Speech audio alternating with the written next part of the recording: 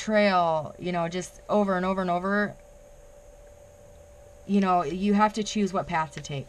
For those of you um, with a twin flame or soulmate, remain in balance. Get, um, become healed, and um, and that twin flame will come into you. That soulmate will become, you know, will come in, but you have to be healed before they will come into union.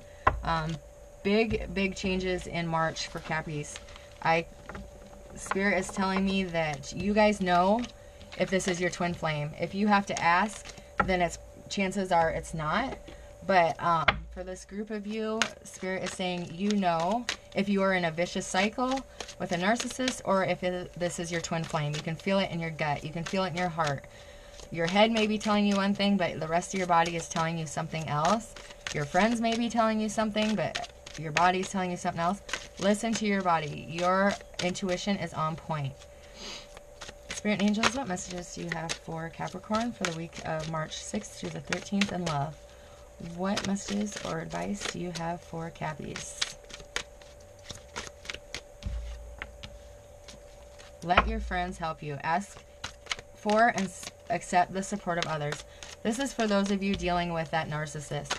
If you feel you're stuck, you're trapped there with this person, um, let your friends help. Ask, reach out. You have people that will help you. You just have to ask for them. Also, ask um, for help from your angels. Your angels will not come in to help you unless you ask.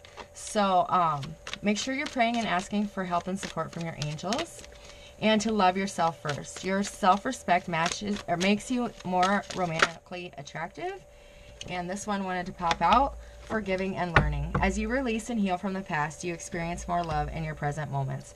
So also, this is with that um, karmic soulmate. That was, you've been hurt a lot, Capricorn. It's time to heal. It's time to forgive and to move on. Take this lesson with you and go to a place of healing so you can love yourself first. Reach out for help if you need it.